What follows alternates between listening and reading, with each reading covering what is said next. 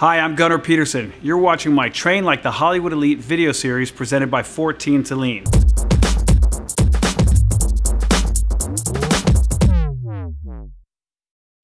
Today's question is, why are cravings so much stronger at night? What do you recommend to help combat the cravings? Ah, I should have called my nutritionist friend. I don't know why they're stronger at night. I'm not a doctor, I'm not a nutritionist, but I have a hunch that it's because we are not as occupied, we are more relaxed, our defense system is down, and our minds start to stray. And idle hands are the devil's tools, and the devil that I know loves sugar.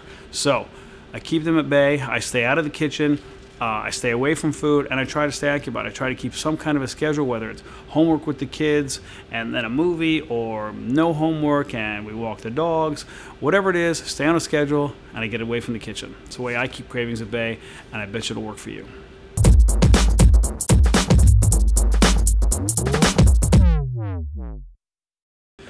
That's all I have for you today. Be sure to visit Fitness RX for Women's Facebook page by September 17, 2014 for a chance to train with me at my Beverly Hills facility.